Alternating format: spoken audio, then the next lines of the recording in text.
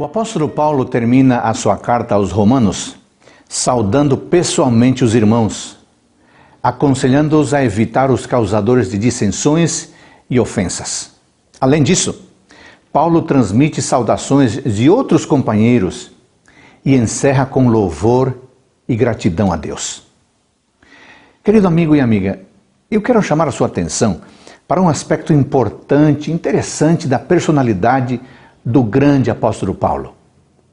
Ele era um grande teólogo, ele era um grande líder, ele era um grande pastor.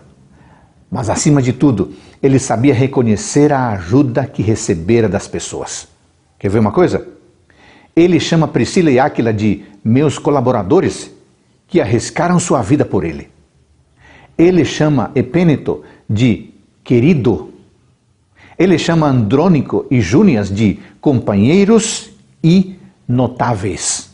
Urbano é chamado de cooperador. Estaques é chamado de meu amado.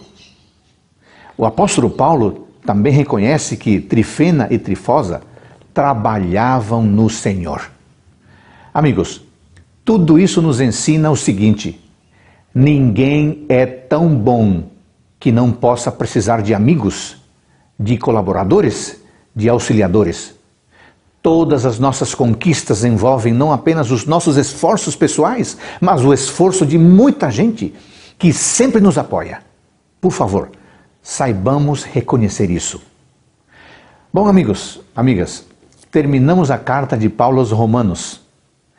Eu acho que nós devemos ser gratos a Deus por esta carta magna do Evangelho, pela teologia de Paulo e pela, pela experiência e pelo exemplo prático de Paulo como líder e como cristão.